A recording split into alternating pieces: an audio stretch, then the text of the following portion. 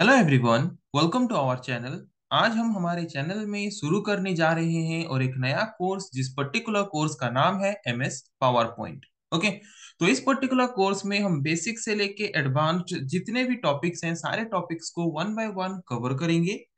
तो कनेक्ट रहिए और चलिए शुरू करते हैं फ़र्स्ट क्लास इस particular course M S PowerPoint का.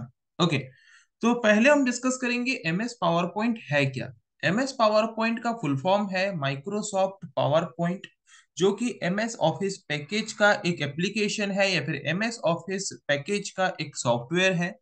इस पर्टिकुलर सॉफ्टवेयर को हम बोलते हैं प्रेजेंटेशन सॉफ्टवेयर जैसे कि लास्ट uh, कुछ क्लासेस में ऑलरेडी हमने दो कोर्सेज कंप्लीट कर लिया है जैसे कि M S Word and M S Excel M S Word को जैसे हम एक वर्ड प्रोसेसर सॉफ्टवेयर बोलते हैं एम एस एक्सेल को जैसे एक स्प्रेडशीट सॉफ्टवेयर बोलते हैं वैसे ही एम एस पावर पॉइंट को हम एक तरह का प्रेजेंटेशन सॉफ्टवेयर बोलते हैं। तो इस तरह के सॉफ्टवेयर को हम प्रेजेंटेशन सॉफ्टवेयर क्यों बोलते हैं? क्योंकि इस तरह के सॉफ्टवेयर को यूज़ करके हम किसी भी तरह के प्रेजेंटेशंस बना सकते हैं राइट तो हमें ये पता चला कि जिस तरह के सॉफ्टवेयर को यूज़ करके, जिस तरह के एप्लीकेशन सॉफ्टवेयर को यूज़ करके हम प्रेजेंटेशन बना सकते हैं, वो होता है प्रेजेंटेशन सॉफ्टवेयर जिसका एक एग्जांपल क्या है? M S power point right पर ये प्रेजेंटेशन होता क्या है? रियल लाइफ में हम ये प्रेजेंटेशन वाला काम ऑलमोस्ट हर कोई करते हैं। जैसे कि एक रियल लाइफ एग्जांपल लेते हैं। सपोज़ कोई साइंस एग्जीबिशन है। उस साइंस एग्जीबिशन में हम में से कोई पार्टिसिपेट किए हैं और उस साइंस एग्जीबिशन में जो जजेस आए हैं, उनके सामने हम हमारे प्रोजेक्ट को क्या करेंगे? प्रेजेंट करेंगे। तो उस प्रेजेंट करने को प्रेजेंट करने के प्रोसेस को हम क्या बोलेंगे? प्रेजेंटेशन तो प्रेजेंटेशन का मतलब क्या है? Presentation means describing a concept okay describing a concept that we have designed हमने अगर कुछ डिज़ाइन किया है कोई कॉन्सेप्ट को, उसको अगर हम डिस्क्राइब कर रहे हैं तो उस डिस्क्राइब करने की आर्ट को, उस डिस्क्राइब करने की प्रोसेस को हम क्या बोलेंगे? प्रेजेंटेशन ओके बहुत ही सिंपल वे में समझ आ गया प्रेजेंटेशन क्या है? हम हर कोई, हम हमारे डेली लाइफ में प्रेजेंटेशन करते ही हैं। तो वैसे ही अगर हम कंप्यूटर को यूज़ करके कोई प्रेजेंटेशन बनाना चाहते हैं, जिसको हम किसी के सामने जाके प्रेजेंट करेंगे, किसी को डिस्क्राइब करेंगे तो वो हम जिस सॉफ्टवेयर के द्वारा कर सकते हैं, उस सॉफ्टवेयर को बोलते हैं प्रेजेंटेशन सॉफ्टवेयर और उस प्रेजेंटेशन सॉफ्टवेयर का एक एग्जांपल हम बोल सकते हैं M S PowerPoint so M S PowerPoint एक ऐसा एप्लीकेशन सॉफ्टवेयर है जो कि प्रेजेंटेशन सॉफ्टवेयर की तरह काम करता है। मतलब इस सॉफ्टवेयर को यूज़ करके हम प्रेजेंटेशन बना सकते हैं, जो कि स्कूल कॉलेजेस ऑफ़िस में प्रेजेंटेशन देने में हमें मदद करता है। ओके okay, जैसे कि स्कूल में मुझे बच्चों को कुछ डिस्क्राइब करना है ऑफ़िस में मीटिंग में मुझे कुछ डिस्क्राइब करना है कॉलेजेस में मुझे बच्चों को कुछ डिस्क्राइब करना है ओके okay, या फिर कोई मीटिंग में मुझे कुछ डिस्क्राइब करना है तो उसके लिए मुझे प्रेजेंटेशन बनाना पड़ेगा और उस प्रेजेंटेशन को बनाने के लिए हम यूज़ कर सकते हैं एम एस पावर पॉइंट को क्योंकि ये एक प्रेजेंटेशन सॉफ्टवेयर है और ये वो सारे टूल्स हमें प्रोवाइड करता है जो हमें चाहिए एक प्रेजेंटेशन बनाने के लिए। ओके सो आई थिंक आप लोगों को समझ आ चुका है कि ये प्रेजेंटेशन एक्चुअली होता क्या है? और प्रेजेंटेशन बनाने के लिए जो सॉफ्टवेयर हम यूज़ करते हैं, वो प्रेजेंटेशन सॉफ्टवेयर है और वो प्रेजेंटेशन सॉफ्टवेयर का एक एग्जांपल है एम एस पावर पॉइंट जो कि माइक्रोसॉफ्ट कंपनी के द्वारा सारे विंडोज़ ऑपरेटिंग सिस्टम वाले कंप्यूटर में हमें प्रोवाइड किया गया होता है। ओके नेक्स्ट जो कि एम एस ऑफ़िस पैकेज का एक पार्ट है। कौन सा? एम एस पावर पॉइंट तो अगर हम एम एस वर्ड को यूज़ करके कोई भी डॉक्यूमेंट बनाते थे, उसको सेव करते थे तो उसका एक्सटेंशन जो है, वो क्या होता था? या तो डॉट डीओसी या तो डॉट डीओसी एक्स होता था। वैसे ही एम एस एक्सेल को यूज़ करके अगर हम कोई वर्कबुक बनाते थे, कोई फ़ाइल बनाते थे तो उसको सेव करते वक्त उसका एक्सटेंशन क्या होता था?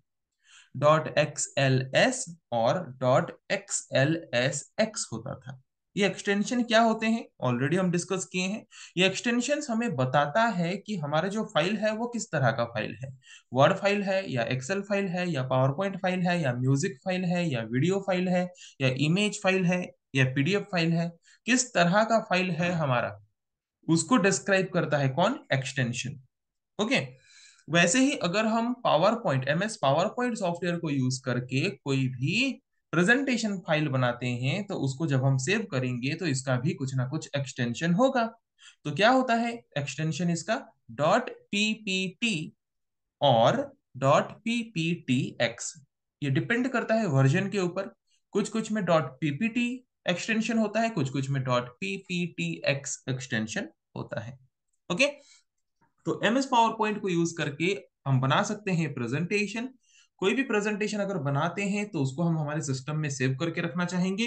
तो हमारे सिस्टम में सेव करके रखने के लिए उस फ़ाइल को हम जो एक्सटेंशन यूज़ करते हैं, वो एक्सटेंशन क्या है? या तो डॉट पीपीटी या तो डॉट पीपीटी एक्स ओके इतना क्लियर हो गया? बेसिक फंडामेंटल्स जो हैं एमएस पावर पॉइंट का वो क्लियर हो गया।